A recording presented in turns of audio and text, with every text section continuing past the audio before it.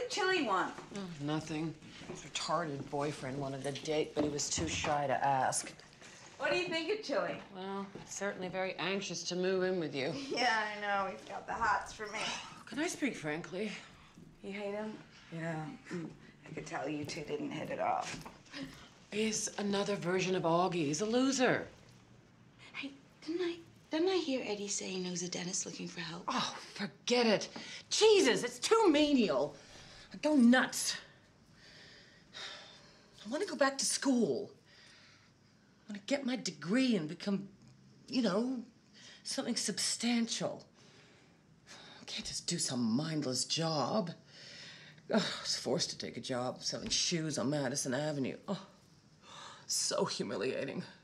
Friends I'd had at dinner parties, our apartment came in and I waited on them. I mean, do you have any idea what that's like? No, one minute you're hosting women, and the next you're measuring their shoe size and fitting them. Erica Bishop came into the store. She saw me, was so embarrassed for me. She slipped out thinking I didn't see her. I saw you, Erica! You okay? Hey, you got great taste.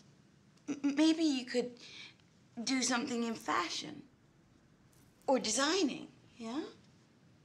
Yeah, that's true. Yeah. Everyone used to say I'd make a good interior decorator. There's courses, but you know they cost money. No, Eve Logan got her decorator's license online. On a computer?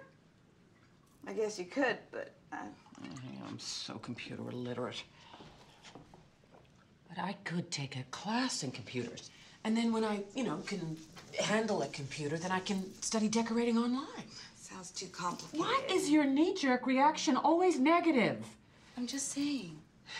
You know, first you gotta learn computers, and then you gotta go for a decorator's license online. You afraid I'll stay here too long?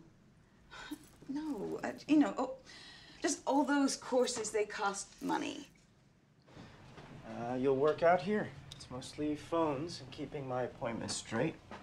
There's the follow-up cards, which I explained, and the notices for cleanings. Any questions?